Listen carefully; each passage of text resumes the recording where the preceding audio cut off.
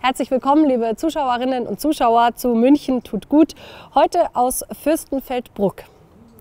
Ein gemeinsames Mittagessen, wo man sich zusammensetzen und ein bisschen ratschen kann, ist eigentlich eine schöne Sache, die aber leider nicht für alle Menschen selbstverständlich ist sei es aus finanziellen Gründen oder vielleicht aus sozialen Gründen, weil man eben niemand hat, mit dem man sich an einen Tisch setzen kann. Und genau das will man eben hier in Fürstenfeldbruck in der Erlöserkirche ändern. Und zwar mit einem ganz besonders schönen Angebot, ein gemeinsamer Mittagstisch. Der muss allerdings erstmal vorbereitet werden. Damit pünktlich um halb eins das Mittagessen auf dem Tisch steht, packen alle mit an. Innerhalb von Minuten wird das Pfarrhaus zu einem kleinen Bistro. Seit Anfang Januar bietet die evangelische Erlöserkirche immer dienstags ihren kostenlosen Mittagstisch an, zu dem alle eingeladen sind. Das Angebot ist für alle Menschen gedacht. Ähm, in erster Linie natürlich für Leute, die in irgendeiner Form bedürftig sind. Aber eben, es können Leute sein, die sagen, ich habe Lust, nicht alleine zu Hause zu essen. Vielleicht kämpfe ich natürlich auch mit den Kosten. Aber es ist auch für jeden anderen, der Lust hat, einfach hier mittags gemeinsam zu essen. Weil unser Prinzip ist, wir machen keinen Unterschied. Wir alle sind bedürftig in irgendeiner Form. Und äh, mir selber macht es auch großen Spaß, hier mit anderen Leuten Mittag zu essen. Insofern ist jeder willkommen. Schön, ja, weil die Gesellschaft, das ist ja das, was es am Ende so ein bisschen ausmacht. Gell? Wir essen ja alle gerne in Gesellschaft. So ist es und das war lange Zeit jetzt einfach auch in Corona-Zeiten nicht möglich in dieser Form und das sagen auch viele Leute. Ähm, das war einfach eine sehr, sehr harte Zeit und sie freuen sich jetzt hierher zu kommen und hier mit anderen Menschen zu essen und ähm, die Stimmung ist eigentlich immer ganz gut und insofern genieße ich es. Das Essen kommt von der Diakonie Oberbayern West. Heute auf dem Speiseplan Pichelsteiner Eintopf. Das sind, schauen Sie her, das sind Karotten, Erbsen, Fleisch. Schauen Sie, so schaut das aus. Riecht auch gut, ja, genau. Es wird bestimmt gut angenommen. Das glaube ich. Wie viele Menschen kriegen Sie jetzt damit satt? Ich glaube, die Portion, die hat 30, 35 Portionen. Letztes Mal haben wir, glaube ich, 25 da gehabt, die wo mitgegessen haben. Jetzt schauen wir mal, wer heute kommt. Was hat Sie denn hierher gebracht, dass Sie jetzt hier mithelfen? Ach ja, ich bin ja bei der Kirche. Ah. Und bin ja in Rente und dann hilft man halt gern. Schön, ja. Was gibt ja. Ihnen dieses Projekt denn vielleicht auch? Warum ist das auch für Sie ein schönes Projekt, wo Sie sagen, das jetzt Ja, weil man anderen helfen kann. Ne? Und die, wo, denen, wo es halt nicht so gut geht. Und bei uns ist ja so, dass sind ja viele von uns die Mitarbeiterinnen und die setzen sich dazu, die sprechen mit denen. Da ist ganz eine lockere Atmosphäre. Auch mit an Bord die Lebensmittelretter Fürstenfeldbruck. Egal ob Obst, Gemüse oder Fertiggerichte, hier kommt nichts weg. Wir haben verschiedene Partnermärkte im ganzen Landkreis, die eben nicht wollen, dass die Sachen in der Mülltonne landen. Und immer an den Tagen, an denen die Tafel nicht holt, also das ist ganz wichtig, wir holen nachrangig der Tafel, an den Tagen äh, kommen wir und ähm, retten die Lebensmittel. Das heißt, wenn äh, die Menschen hier gehen, dann teilt ihr noch aus oder wie läuft das ab? Genau, die dürfen sich dann hier, also die haben meistens schon eine Tasche dabei, ansonsten haben wir von der Diakonie Taschen und dann dürfen die sich hier einfach was aussuchen und das mit nach Hause nehmen. Und selbst Blumen, das finde ich ja nett. Das sieht man eher selten. Also Obst, Gemüse und so, ja, aber Blumen rettet ihr auch. Ja, ja, ja. Auch Topfpflanzen, also wir haben ganz viel, wir haben auch oft Orchideen oder so und da sind die echt immer total begeistert, weil das kauft man sich natürlich nicht, wenn das Geld eh schon knapp ist. Ja. Was machst du da so für Erfahrungen ähm, mit der aktuellen Situation? Ist es mehr geworden? Ja, ja. Also auch, wir merken es auch bei uns im Verein. Also wir haben angefangen ähm, vor eineinhalb Jahren und mittlerweile sind wir bei fast 900 Mitgliedern. Also gerade in den letzten Monaten ist es echt brutal explodiert. Was die Menschen dazu bewegt, zu dem gemeinsamen Mittagstisch in das Pfarrhaus zu kommen, das erfahren Sie gleich nach einer ganz kurzen Pause.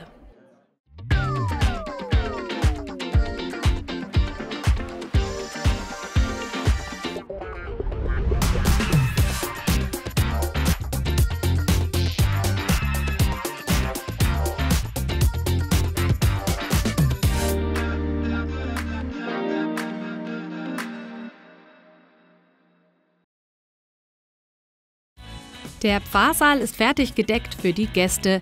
Lagebesprechung und letzte Anweisungen. Wir machen es wie immer, dass wir anfangen, dass sich alle erstmal setzen und zwar auch wirklich bitte auch wir alle erstmal setzen. Dann setzen sich auch die Gäste, dann spreche ich ein kurzes Tischgebet und dann erstmal die Teller nicht zu voll machen. ähm, dann können die Leute lieber immer sich wieder nochmal neu nachholen. Ich freue mich ganz sehr, dass ihr alle mitmacht und, und dabei seid und anpackt und dass wir so ein starkes Team sind. Vor der Türe hat sich mittlerweile eine Schlange gebildet. Die meisten von ihnen wollen allerdings unerkannt bleiben. Pfarrer Wendeburg spricht noch ein Tischgebet und das gemeinsame Mittagessen kann beginnen. Herr himmlischer Vater, Dank für das Essen, für die Gemeinschaft hier, für alle, die heute hierher gekommen sind, für alle, die vorbereitet haben, für das gute Essen und dafür, dass wir hier in Frieden und in Sicherheit zusammen heute dieses Mittagessen essen dürfen. Ich bitte dich, dass du uns beschützt auf all unseren Wegen, wenn wir dann wieder nach draußen gehen und nach Hause gehen, dass du bei uns bist und gib uns jetzt Karl ist heute zum ersten Mal mit dabei. Ich darf mit ihm essen. Und wie schmeckt es denn so? Fantastisch. Pickelsteiner ist wunderbar. Ja? Äh, eins meiner Leibgerichte. Super. Wo kriegst du heute noch was umsonst? Also alles kostet enorm viel Geld. Gell? Und das Schöne ist ja auch, oder? So, dass man hier so zusammensitzen kann und ein bisschen miteinander Genau, reden kann. genau. Ja. Ich habe mit der Dame schon bekannt gemacht. Schön. ja, ist doch nett. Ja, wunderbar.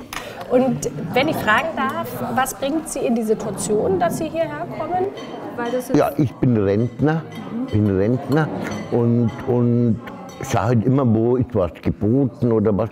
Also von der Tafel habe ich keinen Anspruch.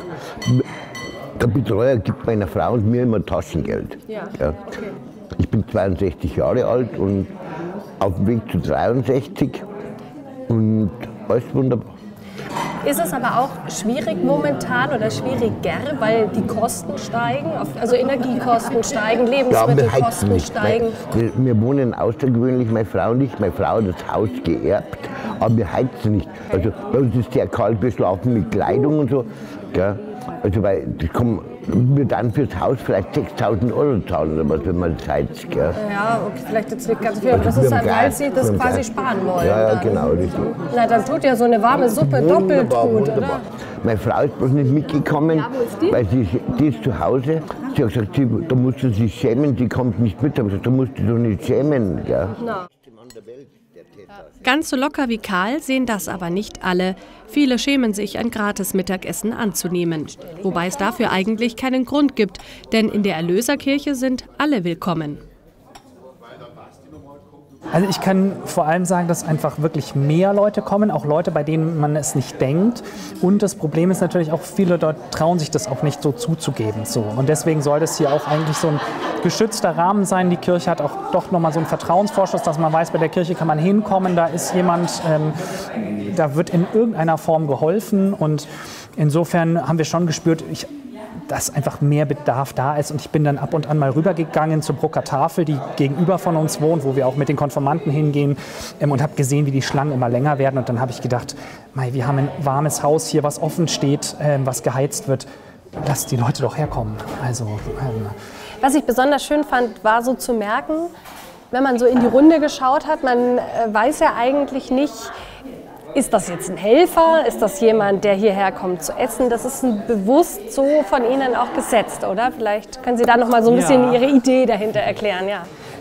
Nein, absolut. Also das ist natürlich auch eine sehr tiefe christliche Überzeugung. Wir sind alle gleich. Eben wie ich es auch gesagt habe, wir sind auch gleich bedürftig in gewisser Weise und auch oftmals unverschuldet in bestimmte Situationen reingekommen. Und hier dürfen wir alle an einem Tisch zusammenkommen. Das feiern wir im Gottesdienst, aber das muss auch irgendwo praktisch sichtbar werden. So für alle muss die Tür offen, offen sein. Und das tatsächlich das Schöne finde ich eben, man kommt hier rein, man weiß nicht, wer ist jetzt hier Gast und wer ist eben Helfender. Und auch die Helfenden haben wir doch alle eine unterschiedliche Motivation, hier mitzumachen. Und insofern ist es auch vollkommen zu Recht, dass hier kein Unterschied gemacht wird. Und ich kann es immer nur wieder betonen, alle sind herzlich willkommen. Ähm, jeder kann hier gerne mitessen, aus welchem Grund auch immer. Die Türen stehen offen. Ein Konzept, das aufgeht. Eine Stunde lang wird geratscht, gegessen, Kaffee getrunken. Ein Austausch auf Augenhöhe und mit einem offenen Ohr. Der Pfarrer und die Ehrenamtlichen hören zu. Im Pfarrsaal ist Raum für jede Geschichte. Auch für die von Gregor. Seine Frau hat sich scheiden lassen. Seitdem lebt er alleine. zu Hause alleine zu essen vor der Glotzer oder vor dem Computer ist traurig. Ähm, Einsamkeit ist praktisch das gleiche wie eine, das ist praktisch eine, eine, eine Krankheit.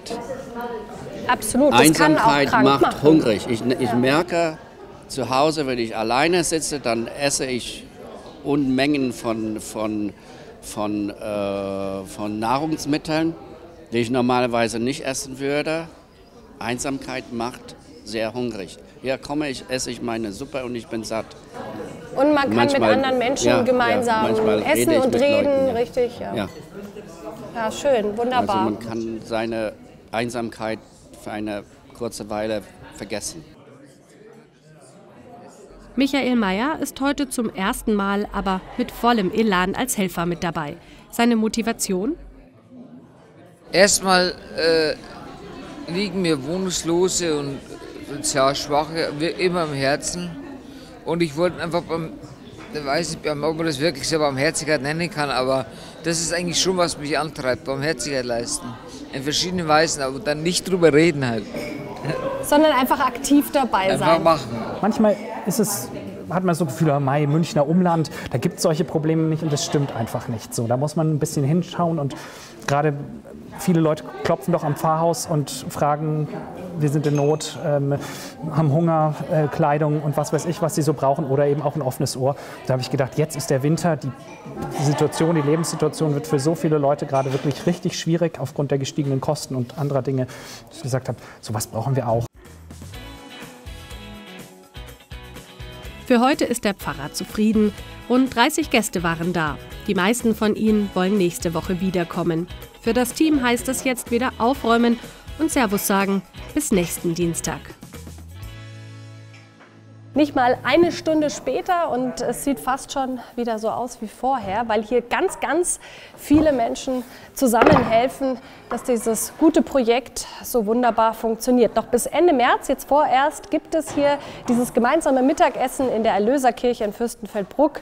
Ich bin begeistert, vor allem von dem großen ehrenamtlichen Engagement. Ich bedanke mich fürs Zuschauen und die Infos, die gibt es wie immer online. Servus.